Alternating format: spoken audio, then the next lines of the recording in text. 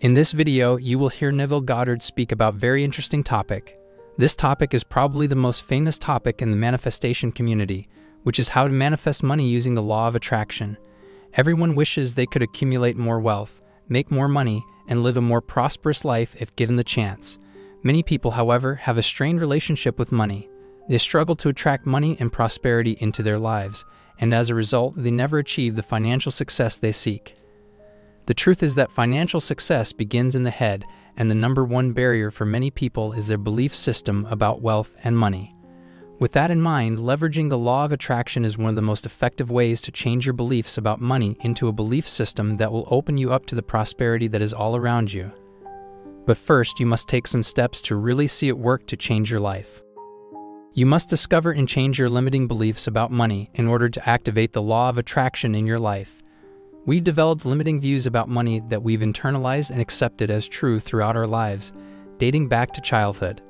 You've probably heard of these limiting beliefs before. Money does not grow on trees and is hence incredibly difficult to obtain, or the notion that money cannot buy happiness, or the restrictive view that you cannot be rich and a nice person at the same time. Before you can start using the law of attraction, you must first recognize and resolve any limiting ideas you may have about money. Once you see money for what it really is, an accessible, unlimited supply of a resource you can use in any way that you desire, it's much easier to form the habits and mindset necessary to acquire wealth. One great way to address any limiting beliefs about money is through the use of positive affirmations. For example, if you realize that you view money as something that is scarce and difficult to acquire, you could use a positive affirmation such as, I'm a money magnet. Everything I touch turns to gold. Other positive affirmations you can use are, I am releasing any and all negative thoughts and emotions about money, and am happy and free to visualize my dreams. Or, I am creating all the money I want and need to accomplish everything I want to do in life. Try the affirmation, I am making positive choices about what to do with my money and enjoying the energy of abundance that it reflects. Now let's hear Neville in his own words, and before moving on, please remember to subscribe to our channel and listen carefully while you are watching the video. Enjoy. Money has an odor. It's unlike any odor in the world. It's more fragrant to the miser than the most marvelous perfume in the world. He can tell it. You put a money bag to his face and it's like putting roses to mine. He loves it. He can smell money, can feel it. Money has a distinct feel about it. Put a $20 bill in your hand and ask you to feel it, and then put another piece of paper in your hand and you can tell the difference. There's a difference. It is an odor to it. All this is part of the inner man that all things are possible to him. Try it. Before you condemn it, try it. And if you have the evidence to support my claim, well then it doesn't matter what the world will tell you. If he laughs at you, so what?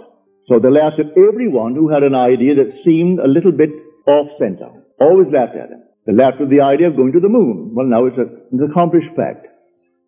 There are still those who won't believe it happened, you know, because they don't want to believe that it ever happened. There are those who said you couldn't go down and actually live underwater. Now we have a submarine. There are still those who won't believe it. You can present them with all the facts in the world, and they won't believe it. So I tell you, you try it first. And if it proves itself in performance, it doesn't really matter what the whole vast world thinks. Go about your father's business, which is yourself, and then live a full and wonderful life in this world of Caesar. And the day will come you will actually depart this world. I mean this age. Because those who are departing it now, unless they are awakened, they still find themselves in a world just like this. But those who have awakened, who have experienced the second birth, the birth from above, find themselves in an entirely different age where they're all imagination and they are perfect. And wherever they go, everything is perfect. They don't have to raise a finger to make anything perfect because they're perfect. All things must conform to them for they're perfect. That's heaven. So heaven is not an area, it's not a realm, it's a body. And when that body is awakened within you, which is the wonderful human imagination completely awake, then wherever you go clothed in that body that is completely awake, everything is perfect. If you found yourself in a forest of dead trees that all burst into foliage, in the desert they would all bloom like the rose because you are there. No blind man, deaf man, no handicapped man could stand in your presence. He would be instantly transformed into a perfect man because you are perfect. That's heaven. It's harmony. So it's not a place where you're going to go, pearly streets and all that nonsense. No. It's just simply you in a world that is perfect because you are perfect. And the day will come you will awaken that body for it's in, in you now. That body is in you, but it's sound asleep. And one day you will experience the resurrection and you'll know the mystery of the resurrection. When you rise and you rise within yourself. For the grave in which Christ is buried, as the Lord is buried, is your own skull. That's where he is buried. And in that tomb where he is buried one day, he will awake and he will come out of that tomb. And it's you who comes out of the tomb. And you'll know who you are. He is buried in every child in the world. This universal being. And yet one. Billions of us, and yet only one Lord. And that one Lord, in his fullness, is buried in you, individually. And when you awaken, you are He. So tonight, take a go. Make it a lovely go. Either for yourself or for another. Any time that you exercise your imagination lovingly on behalf of another, you're mediating God to that other. So, bring a friend before your mind's eye Represent him to yourself as the man or the woman that you would like them to be. And don't tell them, ask for no praise, just assume that they're talking to you and telling you the most marvelous news about themselves. And you congratulate them on that good news. And go your own way. Believe in the reality of that imaginal act. It may happen tomorrow. It may happen the day after, or a week later, or a month later. It has its own appointed hour, and it is ripening and it's going to flower. So don't be concerned. Leave it alone. And it will come to pass. So this is what I mean by feeling is the secret. I catch the mood, the feeling that would be mine if I were what I want to be. I don't have to touch something. I can if I want to. But it's the mood I'm speaking of. What would the feeling be like if she were well? If she were this? and then you catch it, just as though it is true. You always go to the end, and the end is where you begin. We're always imagining ahead of our evidence. So go to the end and feel the end. And then dwell in that end, even though reason denies it and your senses deny it. You turn your back upon the doubters. That is your senses and what reason dictates. That's the hell or the devil or Satan in the world. That's the doubter. So you turn your back upon it. And then you walk as though things were as you want them to be. And living in that assumption, it slowly hardens into fact. Even though at the moment of the assumption it was denied by reason, an assumption, though false, if persisted in, will harden into fact. So you learn to assume and learn to persist in the assumption, and it will come to pass. Well, to answer your question, I must go back and explain it to those who are here for the first time. No, no, no, no. I make the statement based upon my own experience that nothing dies. That's not only true of man, it's true of the flowers, of the animal world, of the trees, of everything. Nothing dies. I am the God of the living, not of the dead. So nothing dies. The little flower that blooms once blooms forever. It's renewed by the seed of contemplative thought. With God, all things are possible. I don't think you'd be here if you did not believe in God. And the God to whom all things are possible. But maybe we stop right there and we separate man from God.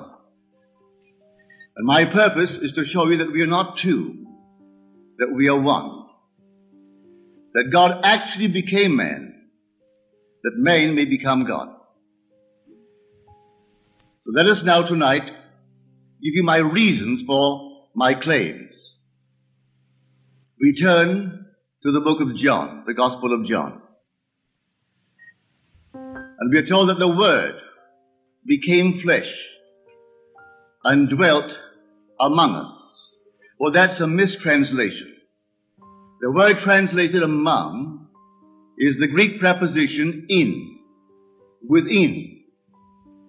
The Word became flesh and dwelt within us, in us. John used the plural us for the nature whereof we consist. That the Word of God, which is defined in Scripture as the creative power of God and the wisdom of God, did not take upon itself some one person among men. For then that one assumed would have advanced and no more. But Christ to save all did not make this man or that man his habitation, but dwelt in us. That same creative word that created the universe and sustains it dwells in us. Therefore with God all things are possible, and therefore with man all things are possible. So he states it in one book, Matthew, with God all things are possible. But in Mark he states it, all things are possible to him, meaning man, who believes. Can man believe? So this creative word is in us. Well, what is this creative word? It's your own wonderful human imagination. That's Christ in man. Man is all imagination, and God is man, and exists in us, and we in him. The eternal body of man is the imagination, and that is Christ himself, the divine body, Jesus. We are his members. So when you say I am, that's he. Now can you believe that you are now the man that you would like to be, though at the moment of your assumption, reason denies it, and your senses deny it? Only just started. All right. Can you really conceive a scene, a scene which, if true, would imply the fulfillment of your dream? Just imagine it. Certainly you can imagine it. But the problem is, will you believe it? Will you believe in the reality of the thing imagined? If I can this very moment imagine myself into a state, any state at all, and dwell in it. Well, now what is dwelling in it? Well, I am dwelling in it. Well, that's Christ. And that is the resurrecting power of the universe. So if I remain in a state, I will resurrect it and objectify it in my world. But I have to select it and enter the state. If the spectator could enter into any of these states in his imagination, approaching the state on the fiery chariot of his contemplative thought, what would it feel like if it were true? How would I feel if I were now the man that I would like to be? How would I know that I could become it? Well, I first, as I assume that I am it, let me think of my friends. Those who really would rejoice with me were it true. Let me imagine that I am seeing them in my mind's eye. How do they see me? If what I am assuming is true, they should see me as I am seeing myself. And if they are friends, they should rejoice with me. So let me now assume that I am seeing, reflected on the face of a friend, that which, if I saw it, would imply he sees in me that which I have assumed that I am. Will that work? Try it. I tell you from my own personal experience, it works. I hope you enjoyed this part with Neville's voice. As we listened, it's all about imagination and feelings. We can easily change everything in our lives just by changing only how we think and what we think about. I know it's not that easy, but it's doable. It takes practice and some effort from your side. Some people do it faster than others, but you will eventually get there no matter how much time it takes you to change your beliefs towards life. And as we just learned, we must only stick to the positive thoughts and ideas and try to block any negative thought that we might have in our head. See you in the next video.